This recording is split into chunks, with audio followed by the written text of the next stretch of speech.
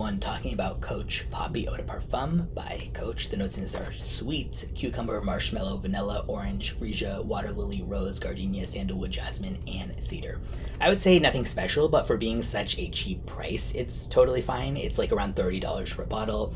Has a bit of like a Febreze fabric softener, clean, sweet floral scent profile to me and I don't think it's gonna like wow most people, but if you just want to smell clean, this would be one of the most affordable options you could kind of get for that option. Leans feminine, moderate longevity and projection, and I will link in the description where you can check it out.